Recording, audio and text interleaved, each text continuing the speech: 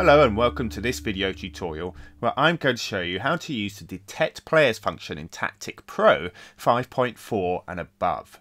This is a great new feature which uses artificial intelligence and machine learning to help you automatically create motion paths for players so you can attach graphics to them with just one click.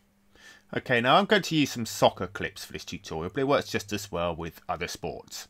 I've actually already saved these clips as analysis files, which means I have a key set up and an auto track. Okay, let's have a look at what happens in this clip here. You see the blue team get possession. They move the ball down the right wing. But look at this guy here in the middle. He's making a really long break. He ends up on the edge of the penalty box, but is ignored. And I think the chance is missed. Okay, so I want to bring the viewer's attention to the fantastic run that this guy makes. So, in the old days before player detect, of course, let's uh, use a graphic, let's say uh, distance run, for example. What I would do, turn on my motion paths and manually create keyframes. Now in Tactic, that's uh, not too difficult. I just drag uh, along, add some keyframes. So I'm doing it for this guy's run, and that kind of works okay. But it is quite time consuming, particularly if you have to do multiple players.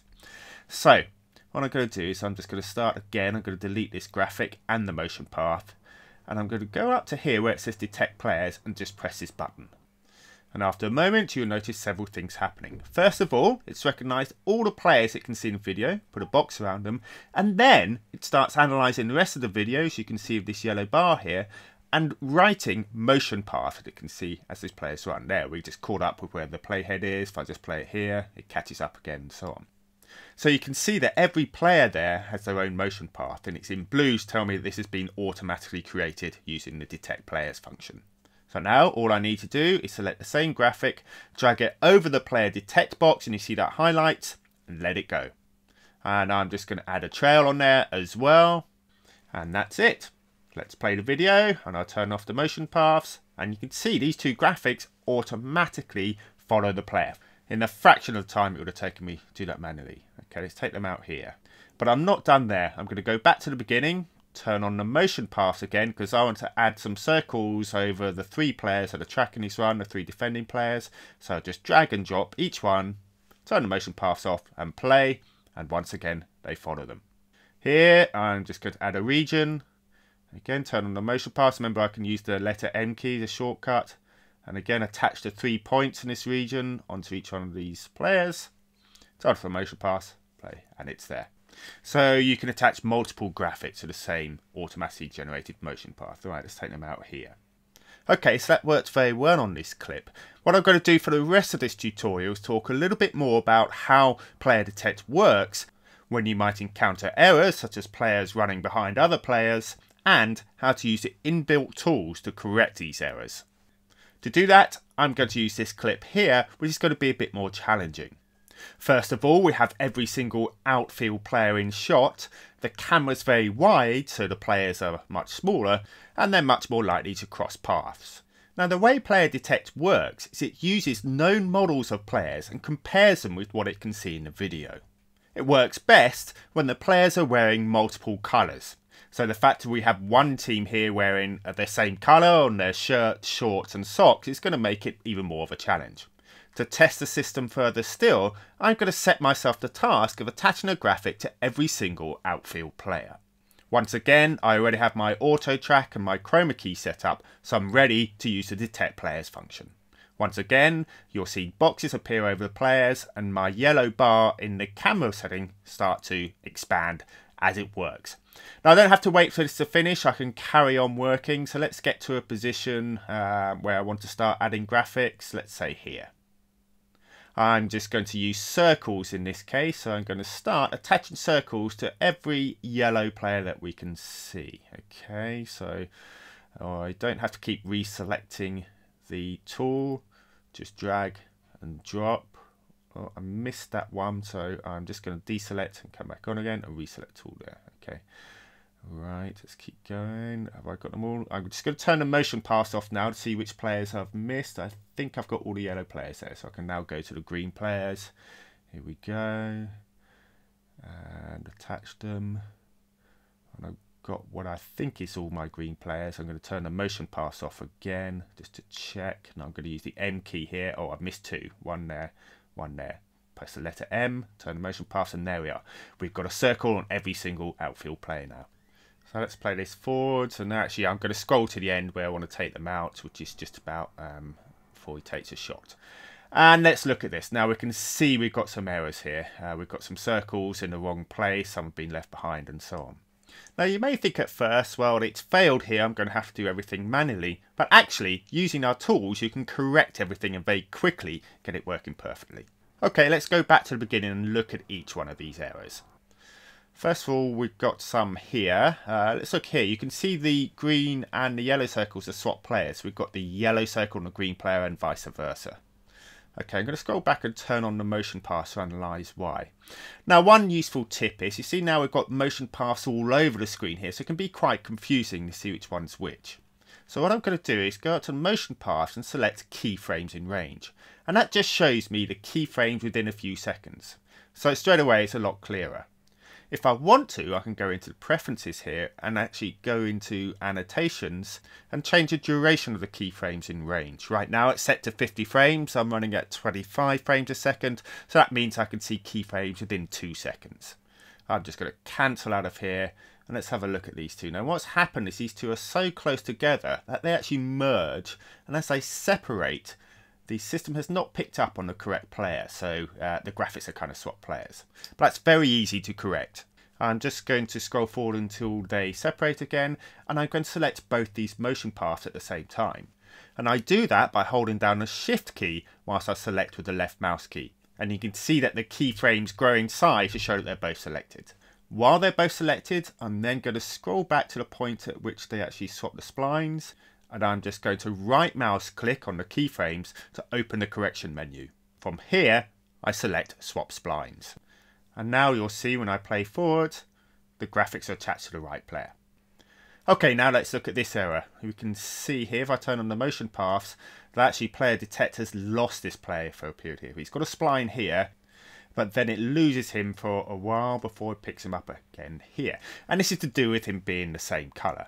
So I have a situation where I have two different splines which are detached. And again, this is very easy to correct. I just select on both these splines using the shift key, right click to call up the menu, but this time I'm going to select merge splines. And that just joins those two splines together. So let's scroll back and you can see that graphic now is still following him. So it's joined the two splines together. Okay, turn off the motion paths and press play. Let's see what happens. There we are. It follows him. It's back onto the automatically generated spline. And I'm just keeping an eye on, see when the next problem occurs. Right, here's one here. So once again, uh, this guy's uh, left his graphic behind. Uh, let's call up the motion paths, multiple select, and I can see that basically, again, we need to merge these splines together. Now the part where it is merged, you can see is green here to say that that's actually a manually created spline, so I can edit it. I can add keyframes if needed. Okay, let's play this on. Let's see what the next error happens. Ah, we've had a swap again. So once again, um, two graphics have attached themselves to the wrong player as the players can converge and then separate.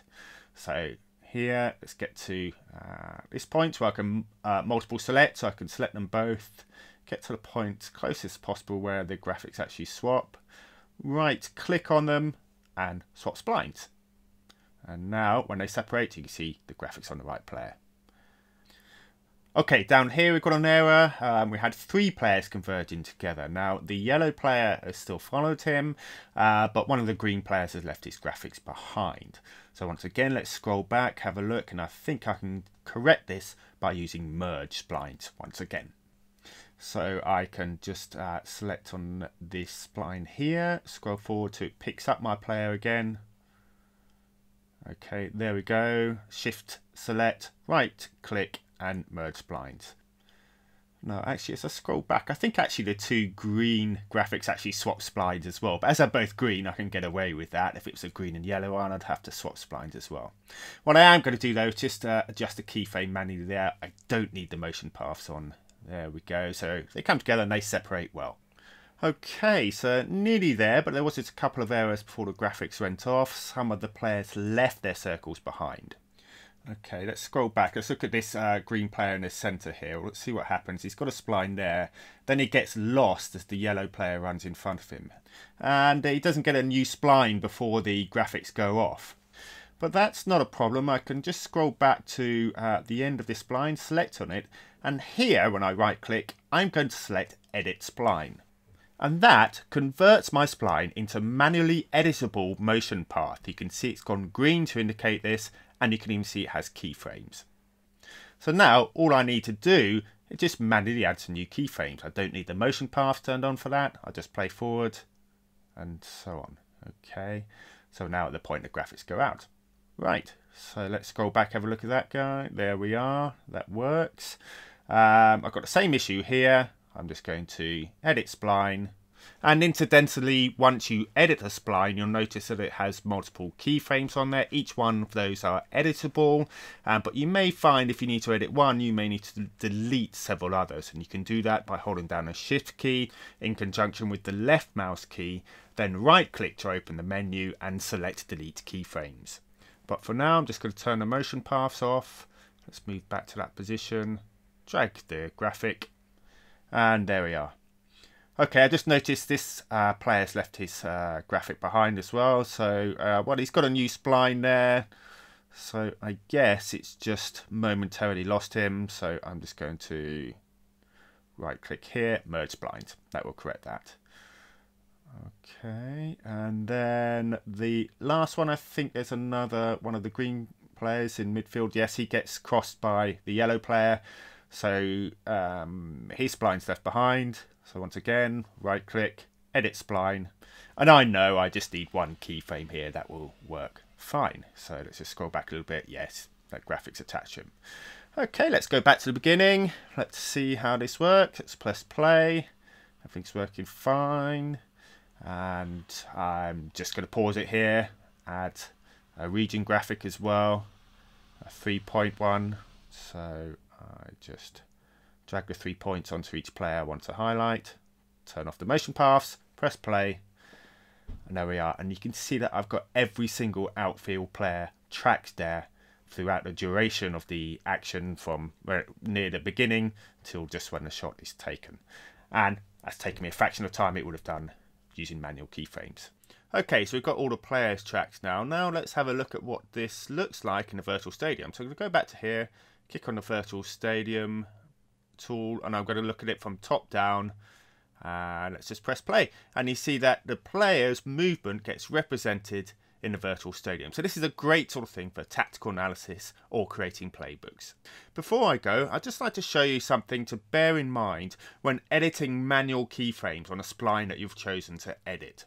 To do that, I'm going to call up this analysis sequence where I've circled the player in blue here, I've used player detect, but the trouble is he keeps crossing with his defender is well marked, and it swap, keeps swapping splines. There, uh, it does it three times. There again, it swaps back to the blue uh, player, and there again, it swapped back to the defender.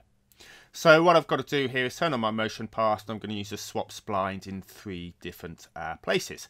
So I'll get to a point where they're separate, I'll use the shift key, I will select them both, scroll forward to the first point where they kind of swap, which is here, right click, swap splines. Okay, and then we go on again. They swap again here. Uh, they're quite far apart when they swap, so I'm going to try and get as close as possible. difficult with this other guy. They're still both selected, so I just right click, swap splines. One more time. Here they swap again, so just scroll back. There we go, to as close as possible. Right click, swap splines. Right, that should have sorted out. Let's go back and have a look. So what we're seeing now is, yes, the blue circle follows the player, but little jumps just here at the swap spline points. Let's, um, let's scroll back and have a look, see if we can see that again. You see when he swaps splines, because they were actually quite far away from each other when I did the swap spline, what happens to the graphic sort of jumps. So what I'm going to do is I'm going to edit the uh, spline with the player that's selected here. So let's get to a point where I can just select him, right click and edit spline. All right, so now this is a manually editable spline. But because it was automatically generated, there are many keyframes here, more than there probably would be if you'd manually generated this. So the thing to bear in mind here is when you're editing or deleting keyframes, make sure you're on the right keyframe before you start editing. Otherwise, you can get yourself into trouble. And the tip to do that is to move between your keyframes using the square bracket keys, right and left. See that I'm moving here using the left bracket key and I'm getting to the point where I think there's a bad keyframe where it jumps and you can see it's just about there, this keyframe here. So if I move forward, uh, I'm going to select on this and delete this keyframe and I think that's going to make this a lot smoother. Let's just see by turning off the motion paths, scroll back a bit and play this through. Yeah, that's improved things a bit more. But I think I could still make this better. Let's turn the motion paths on. I think there's a keyframe which is a bit far from uh, the player here. So I'm going to go here and edit this keyframe. But the important thing is move between your keyframes using the square brackets, as I say. Uh, don't start adding uh, new keyframes here uh, unless you've got a big gap between them. Okay, let's have a look at that. Yeah, that's much better.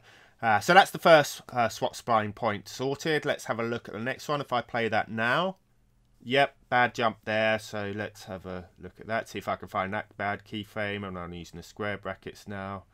Um, and I'd say it's this one here where it sort of jumps. So again, right click, delete keyframe.